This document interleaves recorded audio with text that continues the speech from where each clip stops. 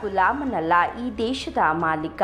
ಅವರ ಜೊತೆ ಗೌರವದಿಂದ ನಡೆದುಕೊಳ್ಳಿ ಎಂದು ಅಧಿಕಾರಿಗಳಿಗೆ ಸೂಚನೆ ನೀಡಿದ ಮಾಜಿ ಡಿಸಿಎಂ ಹಾಗೂ ಹಾಲಿ ಶಾಸಕ ಲಕ್ಷ್ಮಣ ಸವದಿಯ ಆತನಿ ತಾಲೂಕಿನ ಕೊಕಟ್ನೂರು ಗ್ರಾಮದಲ್ಲಿ ಮಾಜಿ ಉಪ ಮುಖ್ಯಮಂತ್ರಿ ಹಾಗೂ ಕಾಂಗ್ರೆಸ್ ಪಕ್ಷದ ಹಾಲಿ ಶಾಸಕ ಲಕ್ಷ್ಮಣ ಸವದಿ ಅವರನ್ನ ಅಪಾರ ಸಂಖ್ಯೆಯಲ್ಲಿ ಸೇರಿರುವ ಗ್ರಾಮಸ್ಥರು ಶಾಸಕರಿಗೆ ಅಭಿನಂದನೆ ಸಲ್ಲಿಸಿದ್ರು.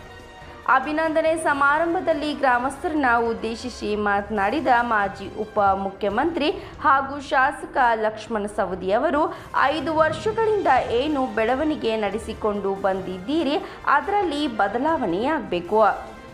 ರೈತರು ಸರ್ಕಾರಿ ಕಚೇರಿಯಲ್ಲಿ ಕೆಲಸ ತೆಗೆದುಕೊಂಡು ಹೋದಾಗ ಅಧಿಕಾರಿಗಳು ನಮ್ಮ ರೈತರನ್ನ ಒಬ್ಬ ಗುಲಾಮರ ಹಾಗೆ ನಡೆಸಿಕೊಳ್ಬಾರ್ದು.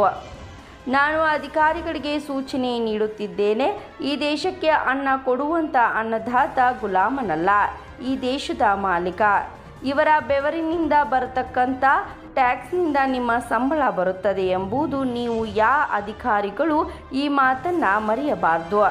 ನಿಮ್ಮ ಕಚೇರಿಗೆ ಬಂದವರ ಜೊತೆ ಸೌಜನ್ಯದಿಂದ ವರ್ತಿಸಬೇಕೆಂದು ಸೂಚನೆಯನ್ನ ನೀಡಿದ್ರು.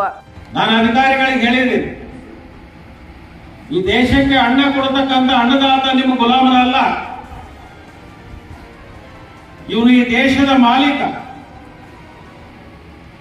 ಇವರ ಬೆವರಿನ ಹಣೆಯಿಂದ ಬಂದಿರತಕ್ಕಂಥ ಏನು ಟ್ಯಾಕ್ಸ್ ಅದ?